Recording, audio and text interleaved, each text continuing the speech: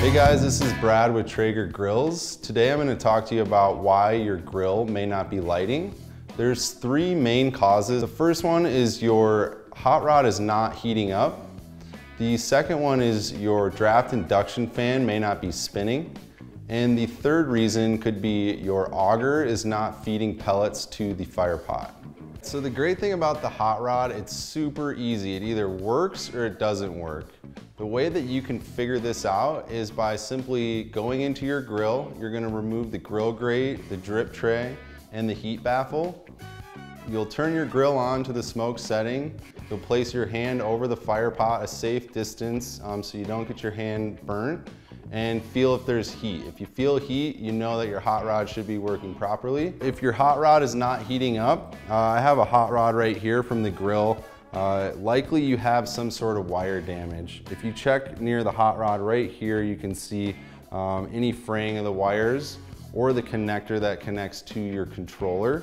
If you see any damage there, it's likely that you need to replace your hot rod. The best way to get it replaced is either call 1-800-TRAEGER to our customer service or go to our website and order one online. Another common reason why your grill may not be starting up properly is the draft induction fan is not working.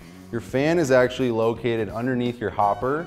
Uh, it's, it's horizontal, so it's very easy to locate. It'll also have an orange wire coming off of it. Sometimes the fan won't be spinning because you haven't used your grill for a little while. There's grease and dirt or sand built up on it. If you go down underneath your hopper and just give that fan a spin, uh, that will help get it going again.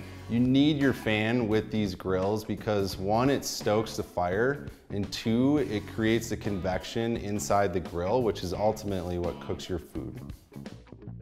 When you install parts inside your grill, wires may get crossed up underneath the fan, restricting it from spinning. If your wires are blocking the fan, grab a couple zip ties, find a few other wires that are underneath your grill from your other parts, zip tie them together and pull them out of the way your fan will be able to spin freely and you should be good to go.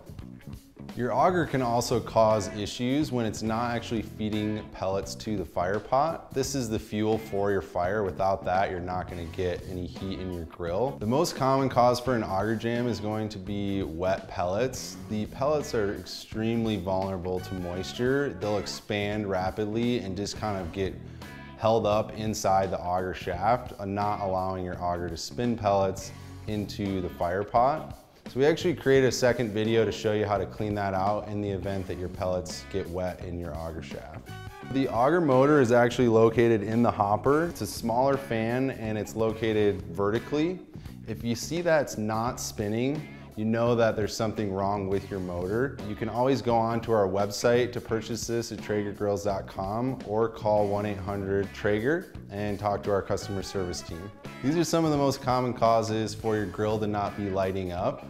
Check out our other videos and be sure to register your grill on TraegerGrills.com. If you have any other questions, call 1-800-TRAEGER and speak to one of our customer service representatives. Thank you.